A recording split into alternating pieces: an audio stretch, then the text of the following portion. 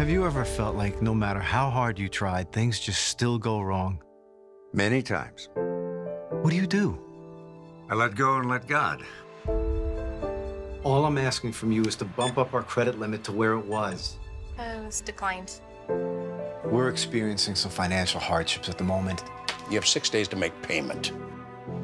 I can't believe this is happening. You know, I never asked you to pray with me. It's you and me. We got this. God wants to help you, Peter, Excuse me? but you're not letting him in. I did once. Last time we spoke, you took a man away from me I loved dearly. From that day, I swore to take matters into my own hands. But now I don't know what to do. I know that you don't believe, but I will pray for you. I love you so much. Copy mo.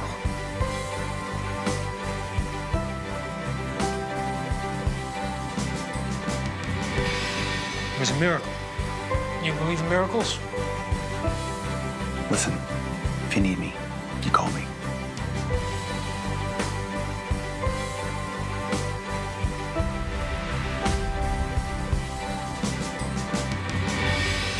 All of the angels in heaven are rejoicing.